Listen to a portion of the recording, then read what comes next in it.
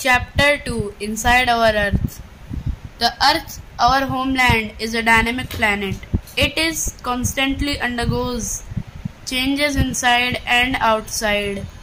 Have you ever wondered what lies in the interior of the earth? What is the earth made up of? Interior of the earth.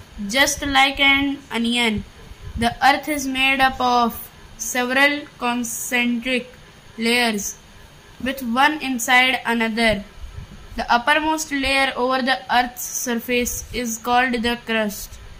It is the thinnest of all the layers. It is about 35 km on the continental masses and only 5 km on the ocean floors. The main mineral constituents of the mm, continental mass are silica and alumina. It is thus called Sial, Si. Silica and Al. Alumina. The oceanic crust mainly consists of silica and magnesium. It is therefore called Sima, Si. Silica and Ma. Magnesium. Just beneath the crust, it is the mantle, which extends up to a depth of 29 km. It is just below the crust.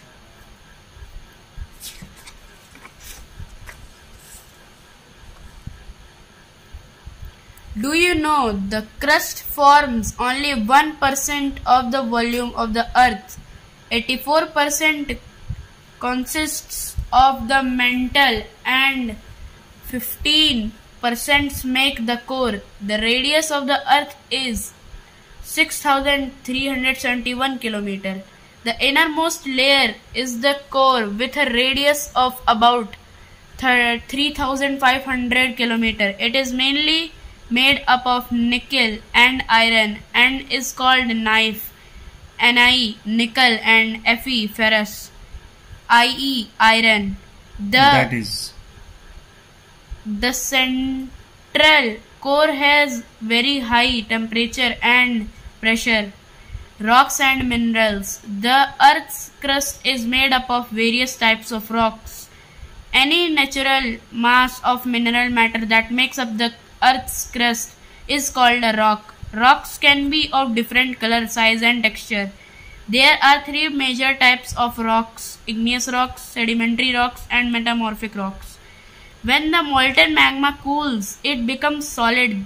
Rocks thus formed are called igneous rocks. They are also called primary rocks. There are two types of igneous rocks intrusive rocks and extrusive rocks.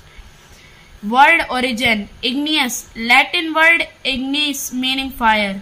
Sedimentary Latin word sedimentum mean, meaning settle down. Metamorphic Greek word metamorphose metamorphose meaning change of form. Can you imagine lava coming out from the volcanoes? Lava is actually fiery red molten magma coming out from the interior of the earth on its surface. When this molten lava comes on the earth's surface, it rapidly cools down and becomes solid. Rocks formed in such a way on the crust are called extrusive igneous rocks. They have a very fine grained structure, for example, basalt. The Deccan Plateau is made up of basalt rocks. Sometimes the molten magma cools down deep inside the Earth's crust. Solid rocks so formed are called intrusive igneous rocks. Since they cool down slowly, they form large grains. Granite is an example of such a rock. Grinding stones used to prepare paste or powder of spices and grains are made up of granite. Glossary Fossils The remain of the dead plants and animals trapped in the layers of rocks are called fossils. Rocks roll down, crack, and hit each other and are broken down in small fragments. These smaller particles are called sediments. These sediments are transported and deposited by wind, water, etc. These loose sediments are compressed and hardened to form layers of rocks. These types of rocks are called sedimentary rocks. For example, sandstone is made from grains of sand. These rocks may also contain fossils of plants, animals, and other microorganisms that once lived on them. Igneous and sedimentary rocks can change into metamorphic rock under great heat and pressure. Figure 2.3 For example, clay changes changes into slate and limestone into marble. Rocks are very useful to us. The hard rocks are used for making roads, houses, and buildings. You use stones in many games. For example, seven stones, Pittu, hopscotch, Stapu, Kit Kit, five stones, Gitti. Find out some more such games by asking your grandparents, parents, neighbors, and etc. Let's do. Collect some pictures. Collect pictures of some monuments and find out which are the rocks used to build them. Two pictures have been collected for you. The Red Fort is made up of red sandstone. The Taj Mahal is made up of white marble. You will be surprised to know that one type of rock changes into another type of an, another type under certain conditions in a cyclic manner. This process of tran- transformation of the rock's form one to another is known as the rock cycle. You have already learned that when the molten magma cools, it solidifies to become igneous rock. These igneous rocks are broken down into small particles that are transported and deposited to form sedimentary rocks.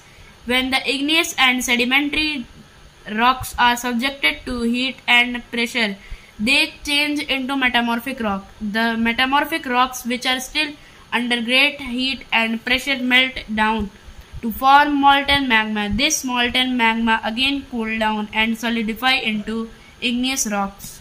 Figure 4.2 Magma can change into igneous rock or igneous rock can change into magma. Then igneous rock can change into sediments and sediments into sedimentary rock or sedimentary rock into sediments. Then sedimentary rock can change into metamorphic and again metamorphic goes to magma or sedimentary rock can also go to directly magma. Then it is the rock cycle. Let's do what are the minerals found in your state? Collect some samples to show in your class. Rocks are made up of different minerals. Minerals are naturally occurring substances which have certain physical properties and definite chemical composition Minerals are very important to humankind. Some are used as fuels, for example, coal, natural gas, and petroleum. They are also used in industries, iron, aluminium, gold, uranium, etc., in medicine, in fertilizers, etc. Thank you.